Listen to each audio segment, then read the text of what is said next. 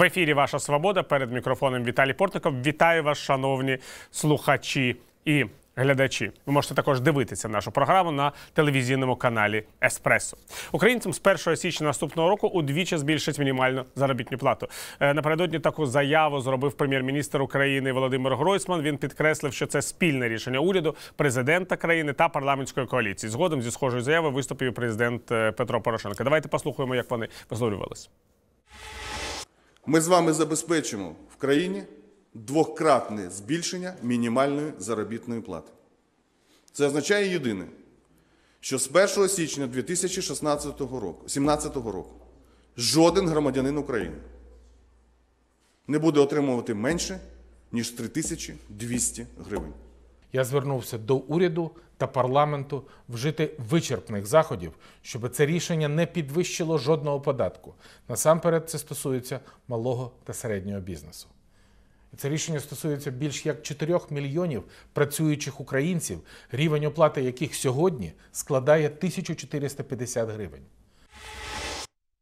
Про ці та інші зміни для наших громадян поговоримо сьогодні в студії з міністром соціальної політики Андрієм Ревою. Вітаю, пане Андрію. Доброго дня. Ви знаєте, коли я почав розбиратися в цьому підвищенні мінімальної заробітної плати, я зрозумів, що уряд, і може правильно, до речі, ну, намагається зіграти в таку, я б сказав, безпрограшну гру з е, тіньовою економікою. Правильно, тому що коли ви піднімаєте мінімальну зарплату і не піднімаєте прожитковий рівень, це не означає, що реально доходи громадян збільшаться, а це означає, що вони реально оприлюдняться. Я правий? Абсолютно правильно. А для чого тоді поясніть? Дуже просто. Коли ми говоримо про те, що повинна бути взаємозалежність між зростанням економіки і розміром заробітних плат, включаючи мінімальні, ми розуміємо класичну модель економіки, коли все прозоро і все зрозуміло. В країні, де 40% економіки знаходиться в тіні, все працює трошки інакше. На короткому історичному проміжку детінізація економіки дасть доходів до бюджету більше, може дати доходів до бюджету більше, ніж е, доходи від економічного зростання.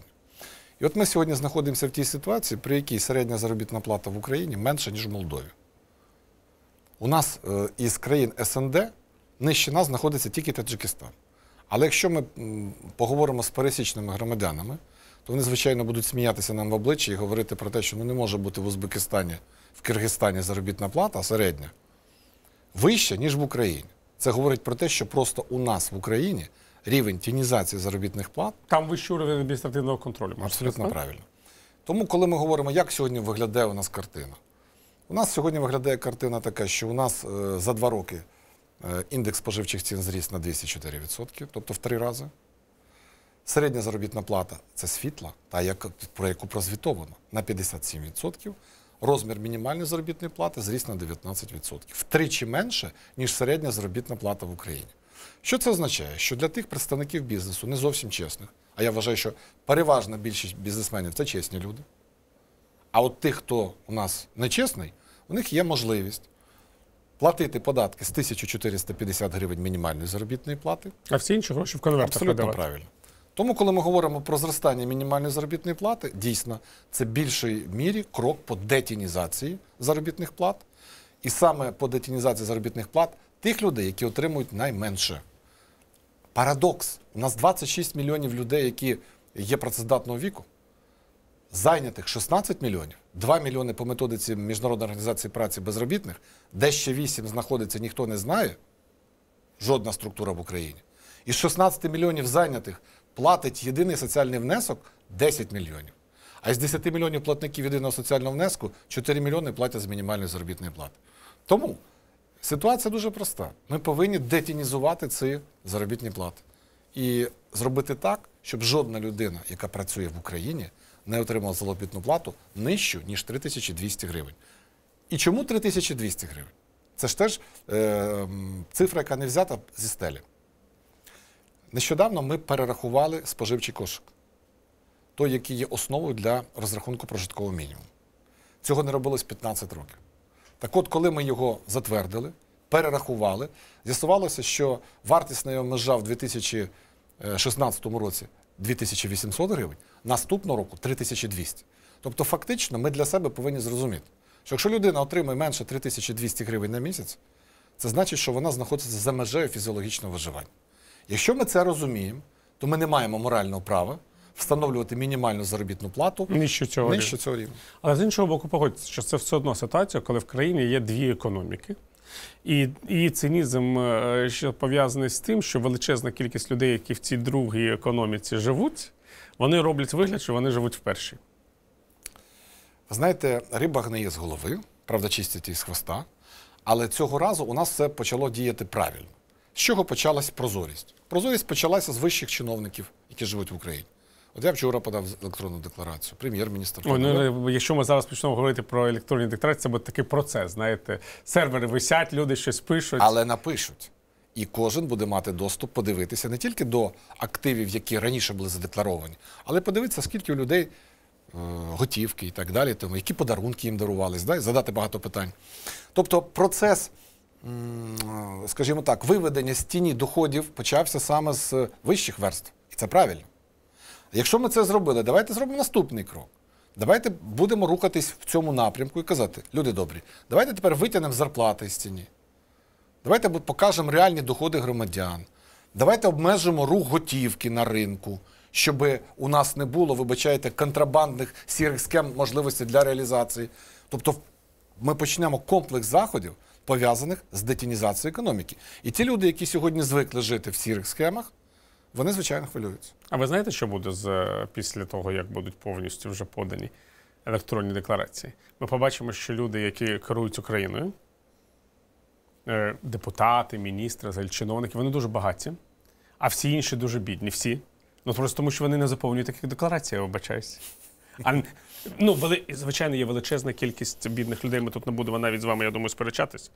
Насамперед, серед людей похилого віку, серед пенсіонерів. Е, От, але те, що у нас величезна кількість людей, які видають себе за бідних, насправді живуть просто з конвертними зарплатами і з недекларованими доходами, це теж факт. Скажіть, а коли людина прибідняється? От не дай Боже, ми зустріли там бандита в темному кутку. І він там вимагає від нас гаманець. Ми що, йому почнемо розповідати, що які ми там заможні люди? Вважаєте, що держава це такий бандит? Ну я не хочу казати. Хочеться так. Але відношення держави до громадян багато в чому було таким. І люди починають прибіднятися. Простий приклад. Тут я живу, наприклад, в Вінниці, у нас там великий будинок. 40% жителів будинку мають е, субсидію. 35 автомобілів стоїть під вікнами щодня. Скільки потрібно витратити на бензин щомісяця? Якщо ми їздимо щодня на автомобілі, Чи може одні люди мають субсидії, інші автомобілі? Чи це все? Чи у вас взагалом 40 е, Загалом, сусідів? ми ж зараз не в мене 120 квартир в будинку. 40% громадян користуються субсидією. 35 автомобілів в користуванні жити мешканців цього будинку. Причому багато хто із тих, хто субсидією користується, також мають автомобіль. І щодня на ньому їздять. Я розумію, що це недосконала система врахування доходів. Але це говорить про інше, що реальні доходи громадян серйозно відрізняються від того, що у нас показує статистика.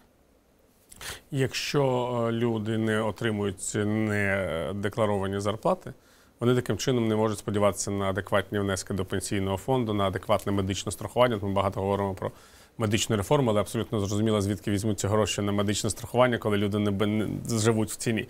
І разом із цим більшість наших громадян швидше е, турбує ось рівень державної підтримки, ніж поведінка е, працедавця.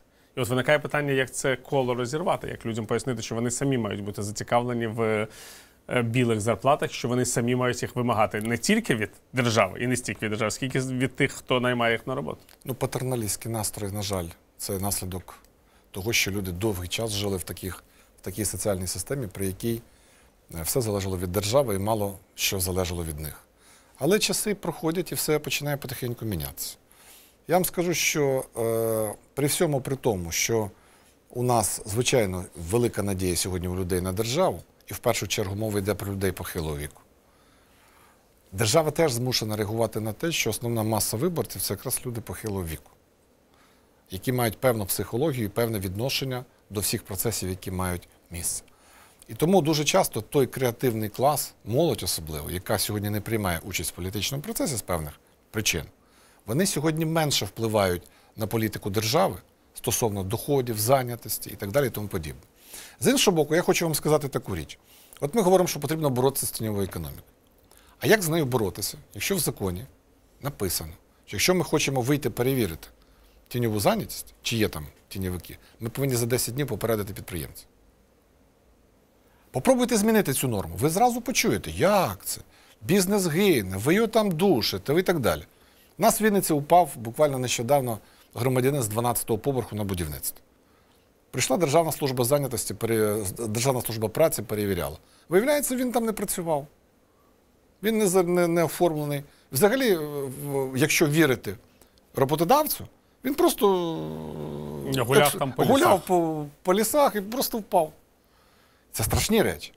І коли ми говоримо про те, що є інтерес з одного боку суспільний в захисті трудової людини, забезпеченні соціального пакету і рівня заробітної плати, з іншого боку, є інтерес в тому, щоб займатися підприємницькою діяльністю. І зваживши ці дві речі, то ми повинні сказати, що в цій ситуації контроль за підприємцем повинен інтерес переважати е, над принципом свободи його, що хочу, те роблю, не, не лізьте до мене.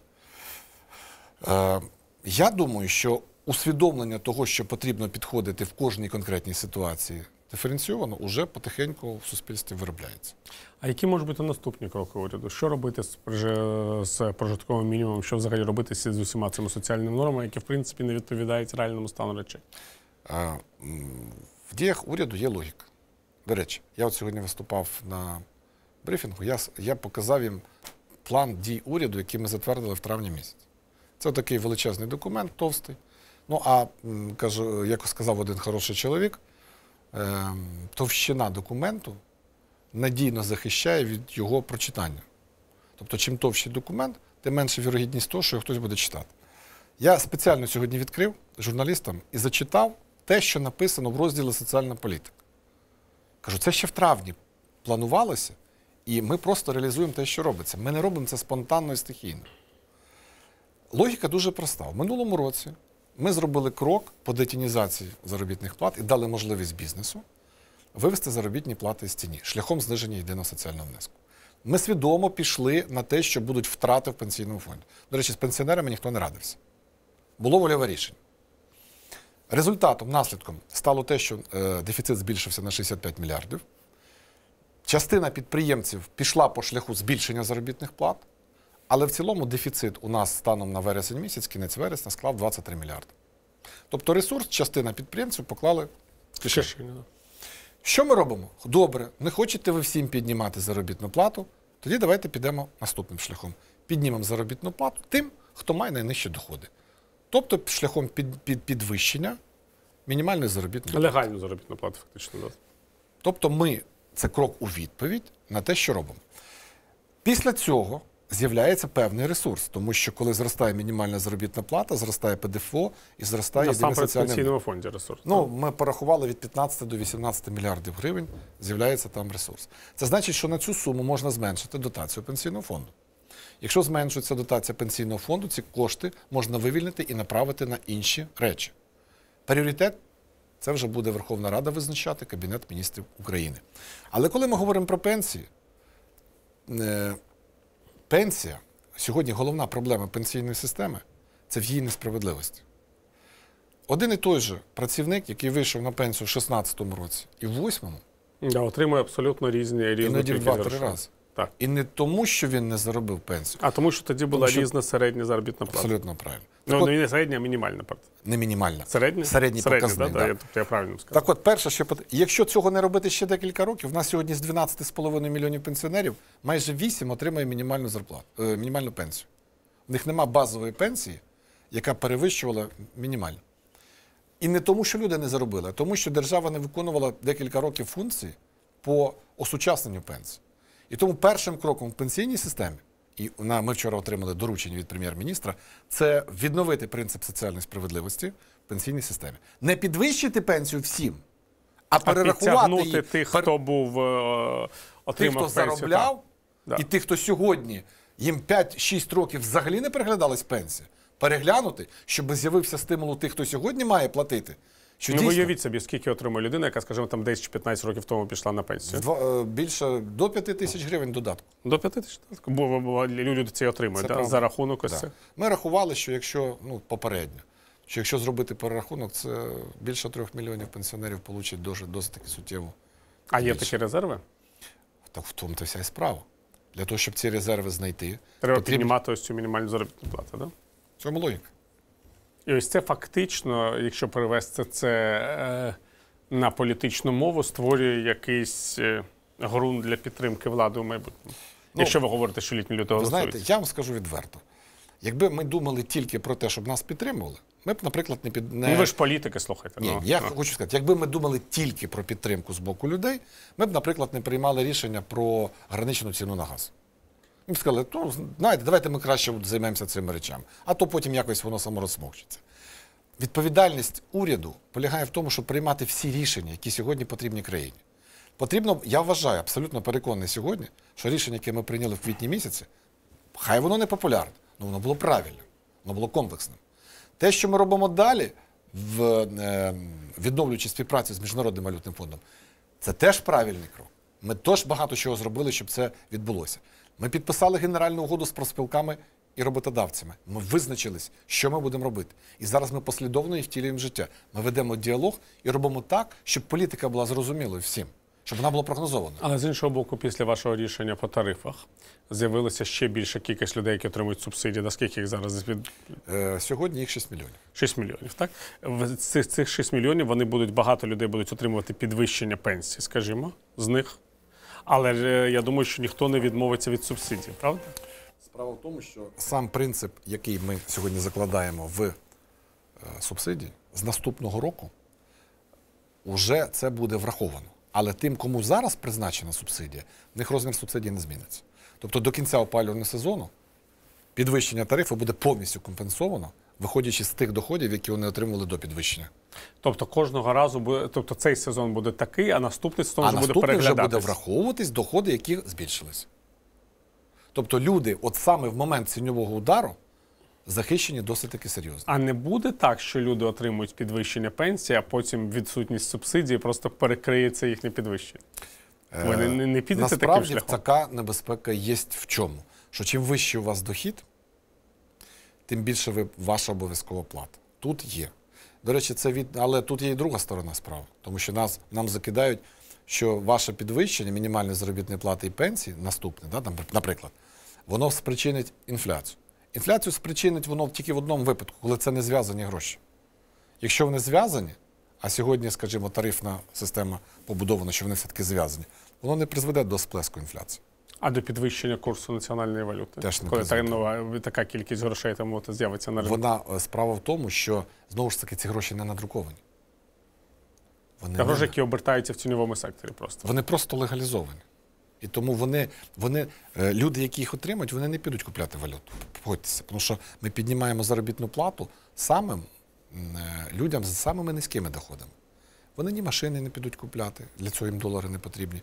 Вони не підуть купляти земельні ділянки. Вони куплять, підуть купля, купити хоча б поїсти нормально.